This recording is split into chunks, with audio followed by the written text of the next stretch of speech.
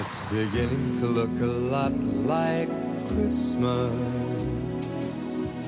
everywhere you go. Take a look at the five and ten, it's glistening once again with candy canes and silver lanes that glow. It's beginning to look a lot like Christmas.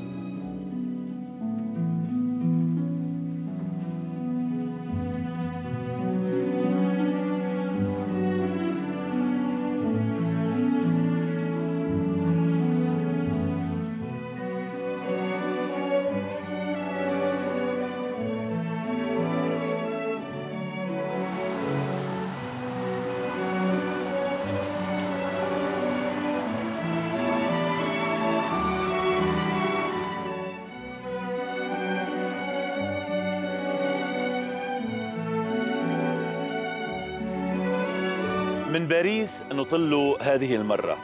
لا نعرف الأسباب التي حدت بالرئيس سعد الحريري للإطلالة في مقابلة تلفزيونية. لعلنا نعرف السبب الليلة. أي كلام يقوله الليلة سعد الحريري بما يجيب على المبادرة الحوارية.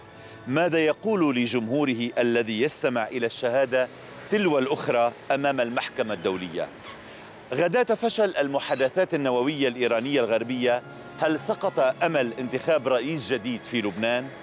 هل يعلن الليلة اسم المرشح التوافقي للرئاسة؟ ألم يأكل التطرف من صحن تيار المستقبل؟ أم أن عرسال وطرابلس شواهد عن مقاومة التطرف لمصلحة الاعتدال السني في لبنان؟ اليوم وقبل أن نكون مباشرة على الهواء معكم سمح لنا دولة الرئيس سعد الحريري بقضاء يوم معه متابعين بعض التفاصيل التي ترافق يومياته من التشاور مع بيروت إلى عواصم القرار إلى أوضاع المستقبل على الأرض. جئنا معززين بالتقنيات هنا وفي بيروت لتكون الصورة والصوت أكثر احترافا وتقنية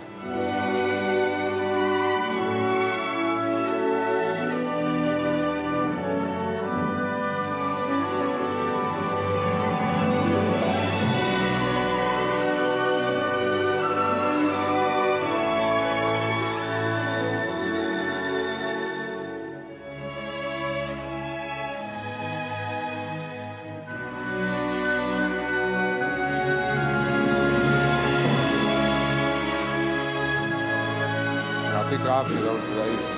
يعطيكم العافية شباب. آه، يعني هذا الاجتماع آه، عشان آه، نحكي بالنسبة لطرابلس والمشاريع اللي عم تشتغلوها. فبتمنى إنه تبلشوا. بدأنا العمل على موضوع الهبة المخصصة للمناطق المتضررة ال 20 مليون. من ضمن هذه المشاريع هي معددة مشاريع إنمائية هي مشاريع تهتم بالشباب. هي مشاريع آه، تربوية.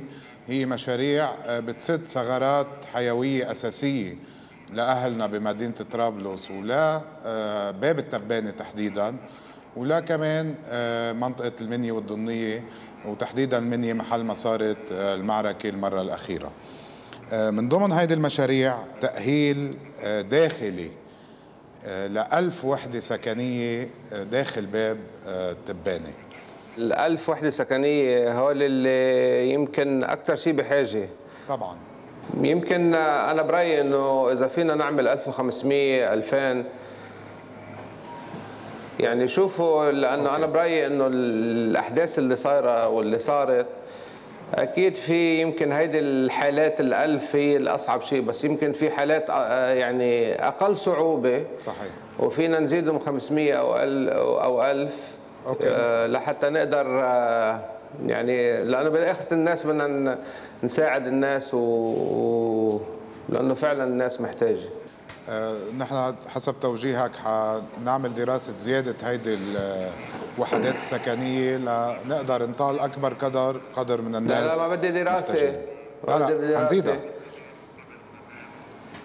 بدي تشتغلوهم خلص، خلاص أوكي. يعني زيدوهم حنزيدهم في تأهيل سوق الخضار بالمفرق اللي هو على نهر أبو علي واللي هو بيعمل حركة اقتصادية كبيرة بهيدي المنطقة.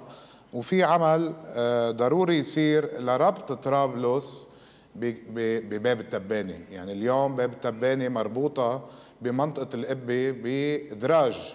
وهيدي الدراج بدها إعادة تأهيل حتى باب التبانة ترجع مزار لكل الأهالي ونشيلها من الحالة اللي وصفها فيها الإعلام إنه هي منطقة آه، تقوى الإرهابيين. حيصير في تجهيز آه، لمستشفى سير الضنية الحكومي بغرفة طوارئ يقدروا الناس يلجأوا لها ما ينزلوا على طرابلس كل ما يصير في هناك حالة طارئة.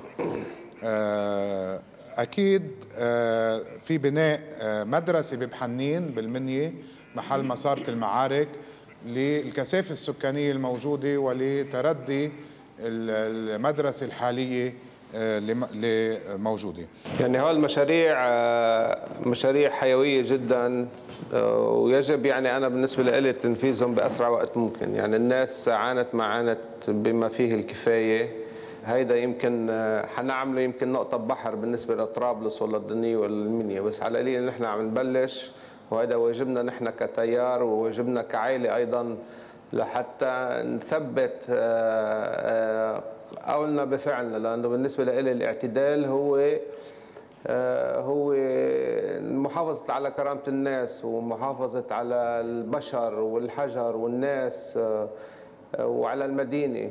كل المحاولات اللي حاولوا يحطوها بطرابلس إنه إنه في أو بالشمال كله إنه في اتجاه للتطرف بهالمنطقة كلها. اللي وقف مع الدولة هن أهل طرابلس. نتمنى كمان أسمع من ريا والباقيين آه، كمان شو عندهم. أهلا دولة الرئيس. تبين أنه لمنطقة الشمال آه، لازم نشتغل على نوعين من المشاريع. أول نوع هي بتصب من ضمن خانة تحسين مستوى معيشة المواطنين. وتاني خانة يلي هي بتخلق فرص عمل وبتزيد المداخيل للمواطنين. إذا بدنا نفكر بأول خانة يلي هي تحسين مستوى معيشة المواطنين. نحن برأينا رح ينزل تحتها ثلاث أنواع من المشاريع. أول نوع هي مشاريع بنى تحتية الكبيرة يلي عم يقوم فيها مجلس الإنماء والإعمار أو عم يقوم فيها آه، بعض الوزارات. آه، لازم آه، يعني ينعمل لجنة من عندنا تتابع هذا الموضوع مع مجلس الإنماء والإعمار وبعرف أنكم عم تتابعوا بس لازم نحاول نتابع أكثر من ناحية ثانية في مشاريع يلي هي صغيرة أو متوسطة الحجم وبرأينا هال 20 مليون الهبة يلي حضرتك أعطيتها بتصب من ضمن هالخانة. هيدول برأينا لازم ينشغل عليهم بأسرع وقت ممكن. وآخر خانة من ضمن هالمحور هيدا يلي هي استهداف الفقر. رح يكون في المشاريع ال mega projects يلي قلنا عم نرددها آه، سنوات عديدة ولكن برأينا هلأ فيها تتنفذ بأسرع وقت ممكن. هيدول بيخلقوا فرص عمل كثير براينا بتخلق فرص يمكن بين 4000 ل 5000 فرصة عمل بالسنتين ثلاثة الجايين فلازم يصير في شغل حثيث عليهم. وآخر نوع من المشاريع يلي هي كمان بتصب من ضمن خانة آه، آه، توليد فرص عمل هي التدريب المهني. رح أعطي الكلام إذا تعمل معروف لأستاذ عبد الغني لأنه هو متابع أكثر مني بهالموضوع هيدا. المدرستين اللي حضرتك مولتهم بمنطقة التبانة وقرب الانتهاء العمل فيهم موضوع التدريب على الأعمال المهنية والحرفية اللي هو موضوع ضروري جدا للمتسربين خلال الفترة الأخيرة.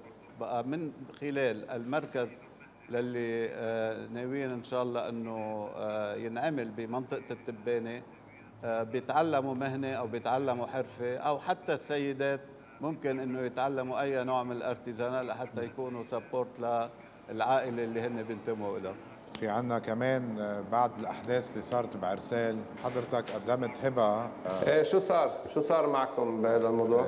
بسام حيحطنا دكتور بسام حيحطنا بوين صارت هيدي الهبة. بالإضافة للمستشفى اللي حضرتك أعلنت عن نية إنشائها أمام وفد ارسالي اجتمعت لجنة متالفه من نواب تيار المستقبل ومنسقية إرسال وفعاليات الإرسالية عدة مرات ووصلوا إلى سله من المشاريع إضافة للمستشفى طالت المستوصف اللي استأنف العمل بعد مضي ثلاث أيام تحديدا على انتهاء الأحداث اللي بنتمنى إنه ما تعود ترجع. تبقى المهنية آه، آه، عرسان اللي آه، تم الترميم تفتقد إلى كل التجهيزات اللي بتخلي عملية العام الدراسي يكون فيها طبيعي ويكون له مضمون. نحن خطونا خطوات أساسية بهذا الموضوع. أما بموضوع المستشفى لحتى لا نقدر نلقي الضوء عليه بترك الكلام لخينا الأستاذ فادي فواز اللي عم يتابع هذا الموضوع. بالنسبة لعدسين المستشفى يلي آه، طلع القرار إنه تتنفذ بعدسين رح ننفذها على عقار ملك الدولة اللبنانية. وعم نحضر الأوراق لهبة عينية تقبلها الدولة اللبنانية باسمك لحتى نبلش بهذه المستشفى يلي بدها تاخذ حوالي يعني حوالي سنة ونص لحتى تتنفذ. بالنسبة للمدرستين اللي سألت عنهم بطرابلس المدرستين خلصوا كبنى وهي صورة لهم بس إذا بتحب تشوفها مبينة إذا بتبينها المستشفى المدرستين خلصوا ببيت التباني بس التجهيزات والمفروشات بيخلصوا بعد شهرين إن شاء الله. فيك تسلم. الموضوع خدمة العمل التطوعي. شو صار فيه روبينا؟ قدرنا نحدد الأولويات الإنمائية واللي نحن بالنسبة لنا الأبرز هو بناء قدرات الشباب والشابات بمنطقة الشمال.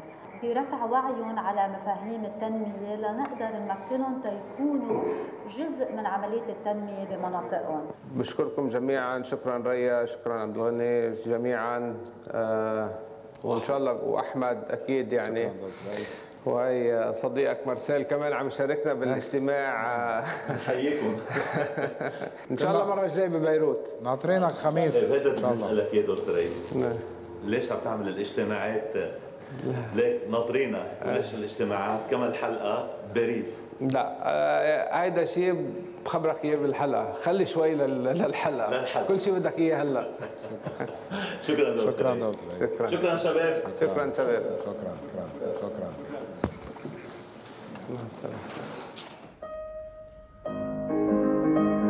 مهرجان بيروت ترنم رح يبدأ السنة بنسخته السابعة بكاتدرائية مارجريوس الموارني بحضور غبطة البترك الراعي. رح يكون البرنامج مع العازف العالمي للبيانو عبد الرحمن الباشا.